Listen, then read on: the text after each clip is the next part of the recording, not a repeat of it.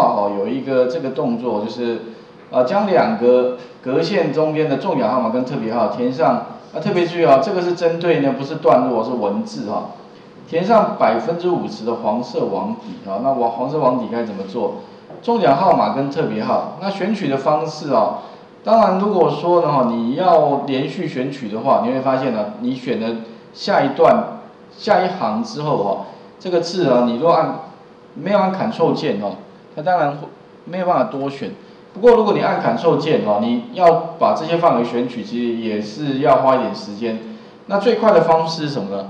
前面有讲过哈，按下那个 Alt 键，你可以呢给它一个范围，这样就可以框出这个范围。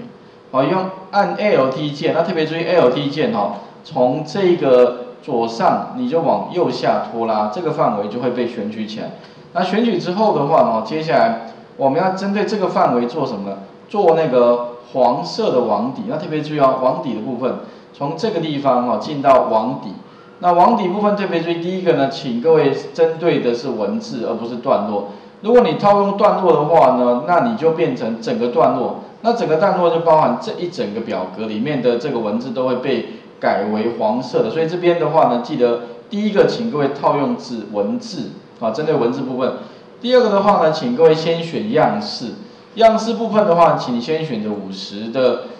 的这个样式，然后呢再给色彩，色彩部分呢题目要求是黄色的，所以呢哈，记得在它这个流程一定不能够乱哈，你不能够先选完之后再选这个文字哦，记得先从这个开始，一、二、三，哦，选完之后的话，我们按下确定，确定之后各位可以看一下，这个是最后的结果，就是只有黄色的字，黄色的网底。